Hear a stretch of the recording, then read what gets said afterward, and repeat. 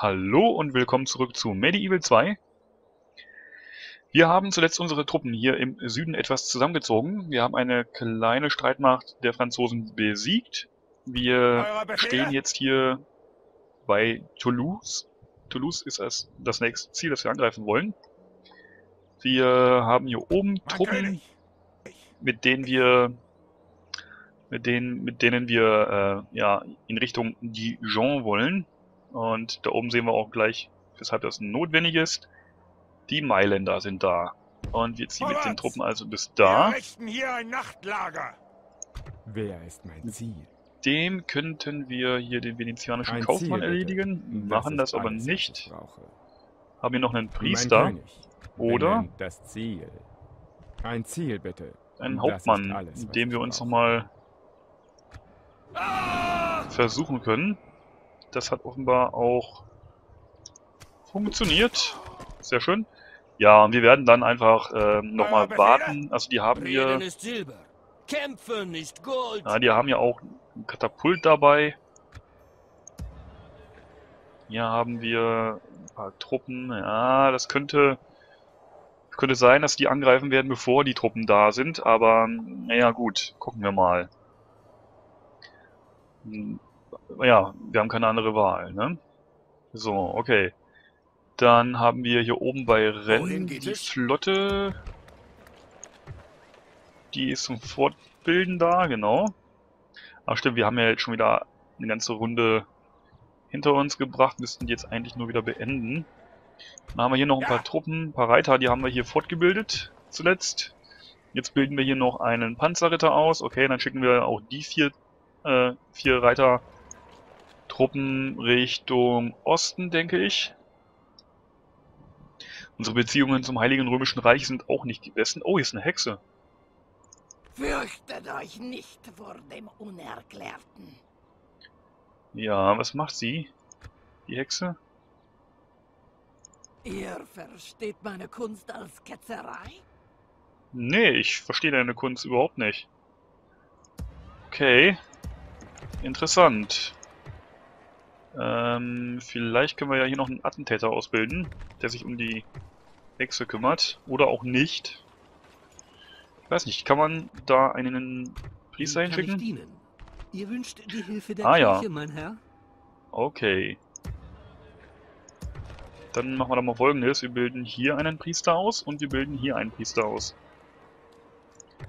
Schauen mal nach dem Bau. Hier wird ein Wirtshaus gebaut und hier bauen wir dann eine Marineakademie. Nee.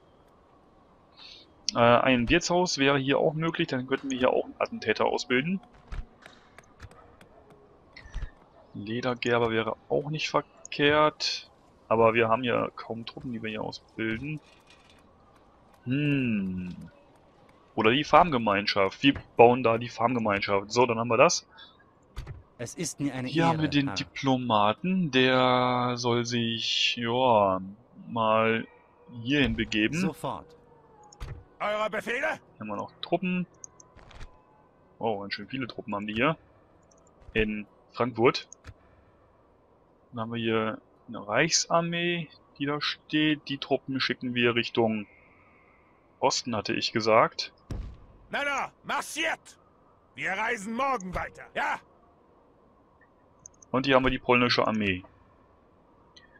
So, und mit den Soldaten, die wir da haben, oder mit denen in Magdeburg. Wie machen wir das? Moment. Ich denke mal, wir ziehen mit denen Ja, hier hin. Wir brauchen aber noch aus Stettin Verstärkung. Und wenn die dann da sind, ziehen die von hinten hier gegen die. Und wir greifen jetzt erstmal die Truppen hier ähm, vor Magdeburg an. Und dann nehmen wir, eure Befehle? wir machen das folgendermaßen, wir nehmen alle Ballisten Eure Befehle? Ja, eure Befehle? und nehmen. Eure Befehle? eigentlich nehmen wir alle Truppen. König. Edler Feind, ihr solltet uns fürchten. Sie haben nichts Besseres als den Tod verdient. So, und jetzt können wir doch eigentlich nochmal? Ja, mit allen Truppen angreifen, glaube ich. Und das machen wir auch. Machen wir das? Moment. Ja, doch. Muss ich mal überlegen. Also wir ziehen uns erstmal noch mit denen hier rüber. Die ziehen wir hier rüber. Abrücken! Und von da ziehen wir mit Ja. Mein denen König! Eure Befehle? Ja! und mein König. denen Eure Befehle! rüber, um anzugreifen. den Feind, edler Herr! Wessen Zeit ist abgelaufen? Der greift Mein nochmal König den Hauptmann an. Ziel. Das hat er sich selbst eingebrockt. Geht dadurch noch ein bisschen besser. Sehr gut. Wer ist mein Ziel? Legt sich dann hier rüber. Wie ihr wünscht. Ja! Dann haben wir den da. Mein König! Die stehen da. Mit dem können Eure wir Befehle? hier angreifen. Sehen stolz in den Kampf, Herr! Mein König! Okay, so Moment. Ja. Dann muss ich nur noch die Armee hier auswählen. Dann gib mir doch mal meine Armee, nicht die polnische. Mein König! Attackieren den Feind, da. Ach, das geht nicht. Achso, okay. Sehen stolz in den Kampf, Herr! Komisch. Na gut. Ähm, dann nehmen wir jetzt die hier. Na gut, wir haben die jetzt erstmal von Magdeburg weggedrängt. Die würden sich vermutlich dann vereinen. Was ich gar nicht so gut finden würde. Deswegen ziehen wir jetzt mit so Sperrmiliz und Edelmänner. Dann brauchen wir die, die... Na, wir ziehen mit, genau wie wir es gerade auch vorhatten. Eure Befehle? Wir marschieren dem Untergang unseres Feindes entgegen. Genau. Das ist ihr Untergang. Ja, das ist die Synchronstimme von William Shatner. Glaub, ach, William Shatner, was rede ich da? Von ähm, Jonathan Frakes, dem äh, Commander Riker auf der Enterprise, glaube ich. Also ich weiß, dass es, also ist der Commander, der spielt den Commander die auf der Enterprise. Ich glaube, das ist die Synchronstimme, ja. Bin mir sehr sicher. So, wir platzieren unsere unsere Ballisten ganz vorne. Ich vermutlich dann irgendwo hier so. Bogenschützen dahinter. Kavallerie dahinter und die Hippenträger hinter den Ballisten. Schlacht starten, Pause einstellen und dann gucken wir erstmal, wie hier die Situation, die sich hier darstellt. Okay, dann sollen die, ja guck mal hier, die sind schon fortgebildet.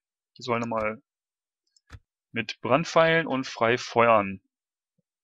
So, und dann bewegen wir unsere Ballisten hierhin. Ja. Und los. Und die Bogenschützen hierhin. Die dahin. Und die dahin. Okay, die bewegen sich auch nach vorne. Das heißt, wir müssen gucken, wann wir auf die schießen können. Und das wäre jetzt schon der Fall. Das heißt, alle anderen müssen jetzt auch stehen bleiben.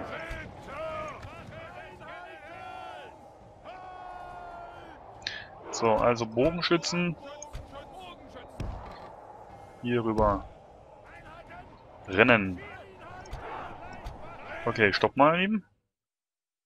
Der Gegner, der kommt offenbar auf uns zu gerannt. Sprich, die Kavallerie rennt jetzt dahin und die rennen irgendwo hin. Jo, dem ist so. Also unsere Kavallerie reitet in die polnischen Edelmänner rein.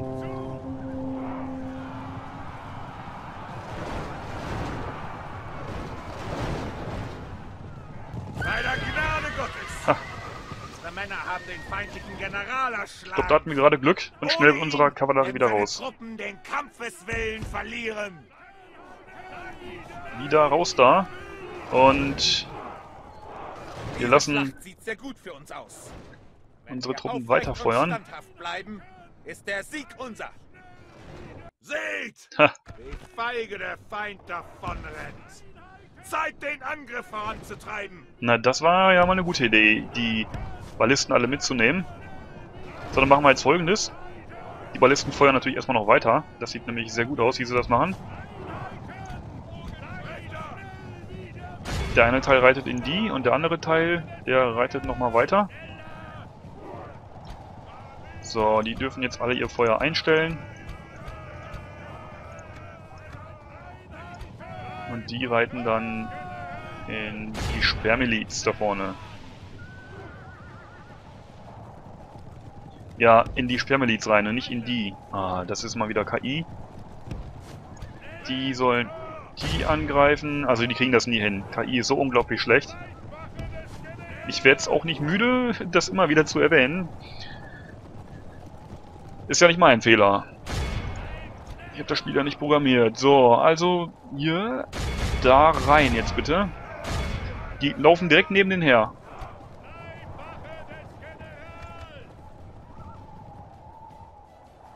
Scheinen wirklich nicht fähig zu sein. So. Diesen entkommen, da ganz toll. Sieg. Wie ihn nur Männer von großer Tugend und Tapferkeit erringen. Okay. So, jetzt bin ich mal gespannt, ob wir in der Lage sind, unsere Ballisten mit zurückzunehmen mit nach Magdeburg.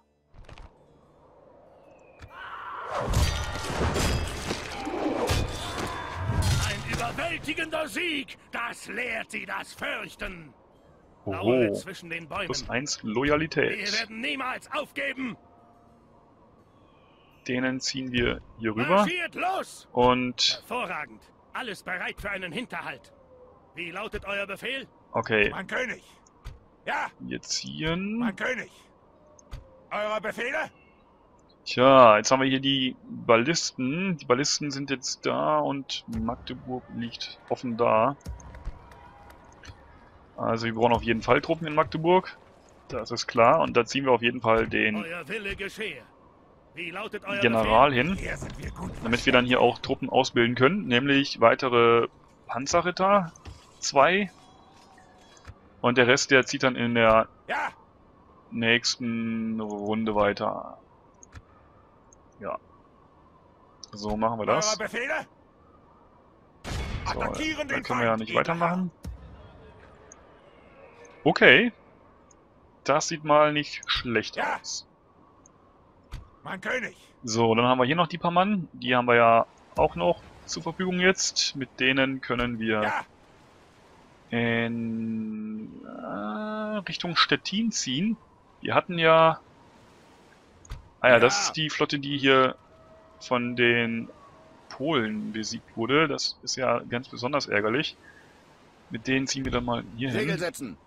Wobei wir könnten natürlich auch die portugiesische Prinzessin jetzt hier festsetzen. Wäre auch eine Idee. Aber machen wir nicht. Wir bilden fort die, die. Und Wohin eine Flotte es? teilen. ja. Wohin geht es? Können die ja neben die hier hinschicken. Verlassen die Flotte, mein Herr. So, dann sitzen die nämlich alle hier fest. Keine schlechte Idee, denke ich. Eure Befehle? Den ziehen wir dann hier oben hin. Natürlich. Heute Und gehen wir nicht weiter, mein König. Mein König. ja, Ja, können wir mit denen nach... Ja, mit denen können wir tatsächlich nach Magdeburg ziehen. In die englische Burg, dann machen wir das mal eben. abrücken. Die kriegen wir dann noch hin. Und dann passt das soweit. So, mal gucken, dass wir Panzerritter da eigentlich auch noch fortbilden, aber gut. Ja, die werden gerade fortgebildet, wie man hier unten sieht. Sehr schön. Okay. Dann haben wir das hier oben erstmal soweit erledigt. Das kann man so lassen. Dann haben wir hier bei Antwerpen noch ein paar Truppen, Bogenschützen, die können wir hier ebenso entlassen wie, ähm, Ja, naja, also wir können die hier rausholen und in Richtung Süden schicken oder in Richtung Osten. Wäre natürlich auch schön, wenn wir hier Metz hätten, wäre natürlich nicht schlecht, das würde hier ein bisschen mehr Einfluss hier in Richtung Mitteleuropa geben. Ist mir ein Dorn im Auge, dass hier so ein dunkles Eck hier ist. Aber gut. Ähm, bei Caen haben wir noch Truppen. Ah ja, da haben wir die Aber Reiterei und da wird ja noch einer ausgebildet. Genau, ich erinnere mich. Und wir machen das dann mal so. Ich guck mal, kann man hier den Mein König! Bogenschützen rausholen? Und wie weit kommen die Reiter? Ja, Okay, ist was? Dann machen wir das folgendermaßen. Antwerpen schickt mein König! Bogenschützen dahin. Bei Brügge haben wir nichts mehr. Bei Rhin und Paris haben wir jeweils nichts mehr. Die Langbogenschützen kann man da noch lassen. Und von hier Ja. schicken wir die dahin. Marschiert! So. Verbinden die Truppen! Angers hat noch einige Bogenschützen. Die könnten wir Richtung Toulouse schicken. Lassen Ja. wir aber vorerst noch. Okay, dann ist es wohl wieder so weit, dass wir die Runde beenden. Ja, wieder haben wir unseren Diplomaten vergessen in ähm, auf der Iberischen Halbinsel. Was soll's. Oh, da sehe ich Reichstruppen bei Rhin. Schlachtaufstellung bei Dijon.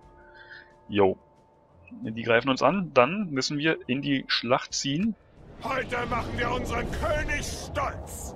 Macht euch bereit! Die haben einen Katapult dabei. Das wird also bedeuten, dass die vermutlich in der Lage sein werden, die Stadt zu stürmen. Wenn wir das Katapult nicht rechtzeitig zerstören können. Dann müssen wir mal gucken, ob wir da überhaupt rauskommen. Ob wir das überhaupt hinkriegen. Wie Schlacht starten? Lass mich doch erstmal gucken. Ich bin auch derjenige, der sich eigentlich vorbereiten kann auf die Verteidigung. Das finde ich am bisschen merkwürdig. Tore dem Feind geöffnet. Wir Oha! müssen die Tore verteidigen. Aber für mich sehen die Tore geschlossen aus. Okay, folgendes. Wir schauen uns erstmal die feindlichen Truppen an. Berittene Saint-Jeans hat er nur eine Handvoll, zehn Stück. Äh, es sind zwei Hände voll.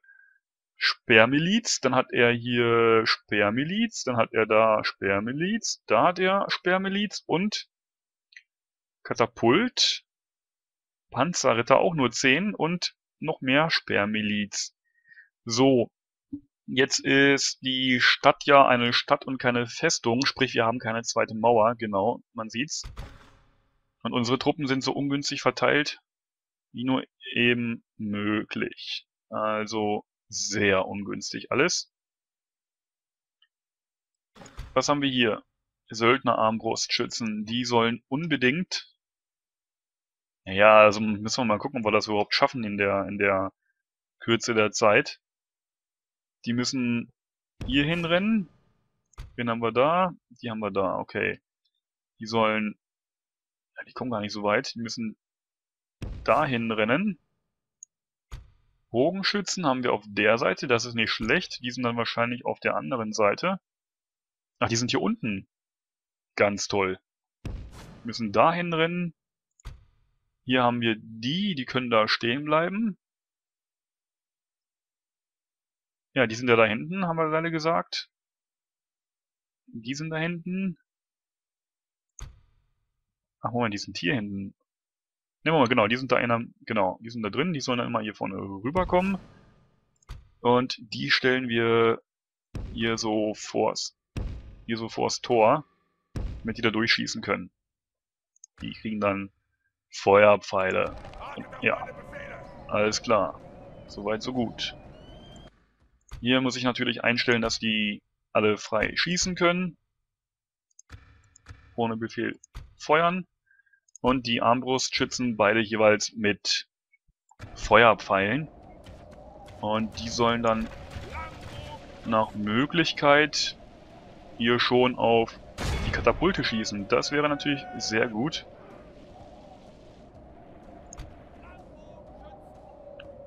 So, und ich hoffe jetzt, dass die sich da erstmal noch nicht in Bewegung setzen. Die müssen hier weg.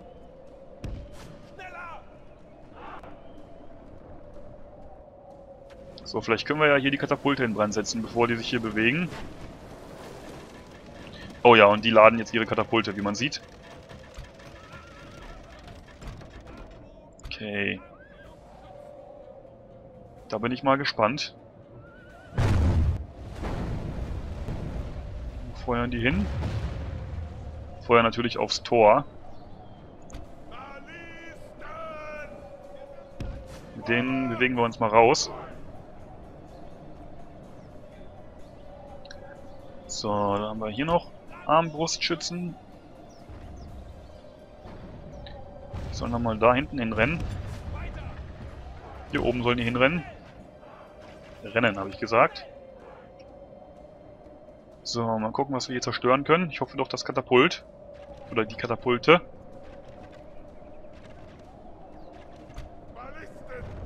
Die sollen dann feuern auf das Katapult. Ja, wie man sieht, sind da schon ein paar Männer draufgegangen. Balliste stellt sich da mal hier vorne hin. So. Und das sind die Langbogenschützen, die kommen da gerade angerannt. Sehr schön.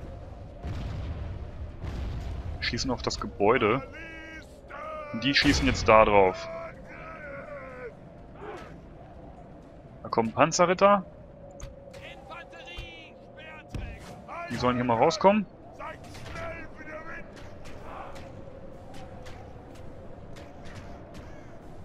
Ja, die werden sich jetzt an der Balliste fe festkrallen. Versuchen die da fest zu äh, nageln bzw. auszulöschen. So, die schießen ebenfalls aufs Katapult. Die kümmern sich hier um die schwere Kavallerie. Der feindliche General, dieser Feigling, flieht. Unsere Männer gewinnen die Schlacht. Sieht gut aus. So, So die ziehen wir wir den Feind. hier rüber. Rennen. Unsere Bogenschützen kämpfen ganz gut weiter. So. Gefällt mir. Weiterhin auf das Katapult schießen und die können hier mit ihren Armen, ihren Armbrüsten weiter schießen. So, das sieht gut aus. Ich denke mal, die feuern jetzt auch. Beziehungsweise die feuern jetzt auch, genau. Die dann bitte auch. Da rein. Okay, vielleicht doch nicht unbedingt da rein dann.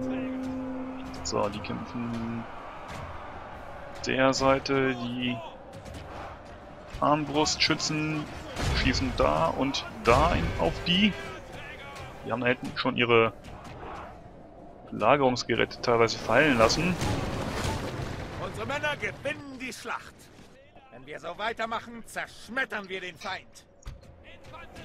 Schnell zurück.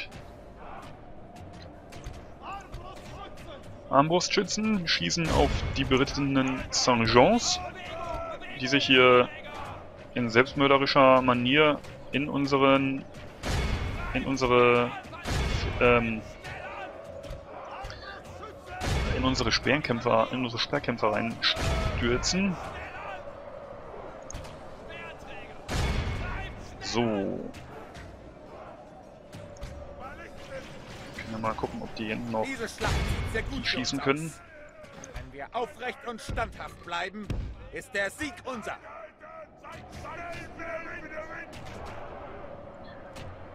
Okay. Ja, die sollen nochmal weiterschießen hier, so wie sie es gerade machen. Oh ja, da hat unser, unsere Balliste gerade sehr gute Arbeit geleistet hier. Im Kampf gegen die Sperrmiliz. So, wieder zurückkommen. Wir lassen die kommen, die wollen uns ja belagern. Sehr gut, das sieht sehr gut aus. Die fliehen alle. Und verlieren auch einiges an Seht, Einheiten. wie feige der Feind davonrennt. Zeit, den Angriff voranzutreiben. Ich überlege gerade, wir setzen die Schlacht fort und können so noch ein paar weitere feindliche Truppen besiegen. Man sieht ja hier die Pfeile, die da noch geflogen kommen. Und auch unsere Ballisten können da noch reinfeuern hier. Die sind jetzt schön in einer Reihe, da könnte die Balliste, Balliste schön reinfeuern. Würde sehr gut funktionieren. Gucken wir mal. Naja, entweder es klappt oder es klappt nicht. Okay, dann haben die sich jetzt zurückgezogen erfolgreich. Gut. Ich kann stehen bleiben.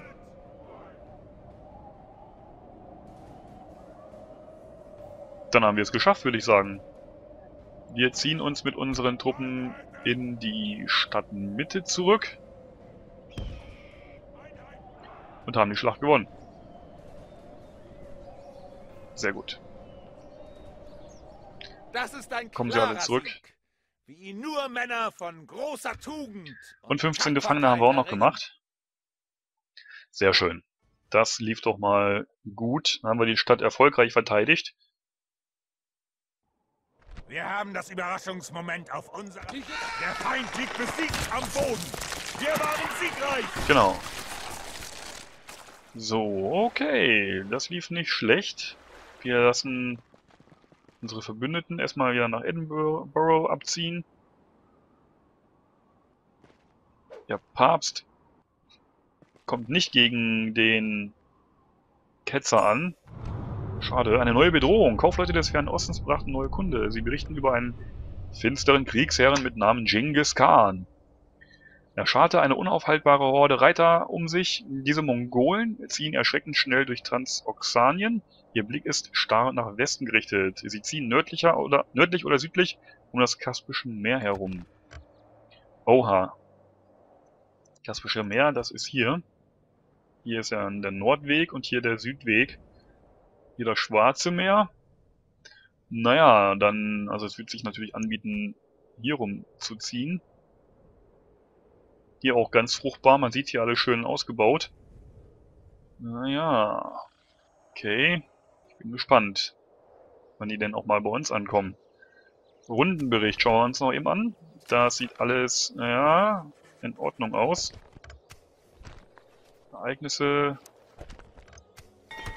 Baubericht, Rekrutierungsbericht und Krieg erklärt. Venedig erklärt Ägypten den Krieg. Okay. Gut, dann haben wir gerade irgendwo, wir haben gerade irgendwo Bauern ausgebildet, aber gut, das soll mir jetzt erstmal egal sein. Das wird wahrscheinlich irgendwo hier in einer der selbstverwalteten Städte sein. Wenn überhaupt. Vielleicht war das auch einfach nur eine Einbildung. Wobei ich... Naja, wir gucken mal. Okay, wir schauen uns das in der nächsten Folge an. Wir machen jetzt an der Stelle wieder eine Pause. Ich hoffe, dass es euch gefallen hat. Vielen Dank fürs Zuschauen und bis demnächst. Tschüss!